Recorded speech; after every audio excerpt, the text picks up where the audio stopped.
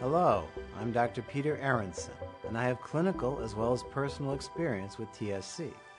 That's because not only am I a dermatologist who manages patients with TSC, I also have TSC myself. Now, I'd like to share my insights with you.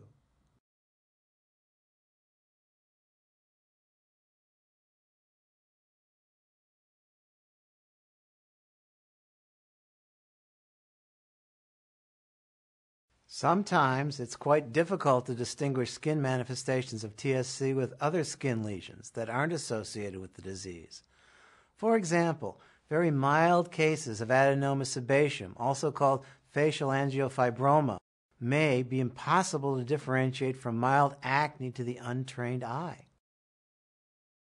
There's also a rare syndrome called multiple endocrine neoplasm type 1 where the lesions on the face are actually adenoma sebaceum when observed under the microscope.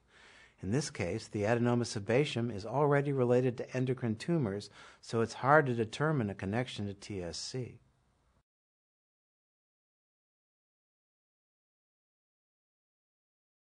Another example is distinguishing vitiligo and TSC related hypomelanotic macules due to their similar lack of color. Vitiligo is a progressive skin disorder marked by sharply circumscribed white spots of skin.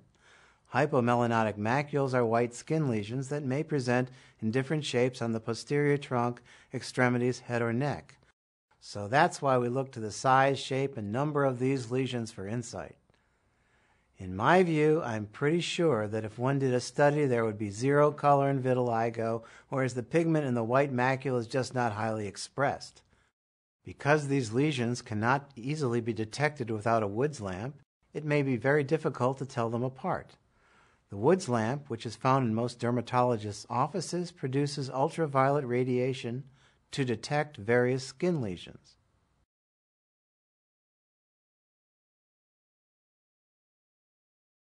There's a common non cancerous growth called fibrous papule of the face. Under the microscope, it's indistinguishable from an adenoma sebaceum lesion of TSC. Specifically, fibrous papules on the nose are generally 1 to 5 millimeters, shiny, skin colored, dome shaped papules. Adenoma sebaceum are discrete, firm, reddish papules that frequently develop in the folds between the nose and upper lip.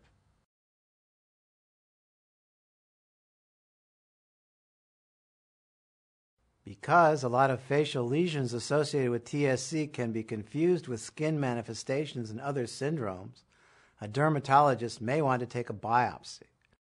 In some cases, a patient may be given a complete exam and will be sent for more testing by the specialist who has that specific area of expertise, such as a pediatric neurologist or a geneticist.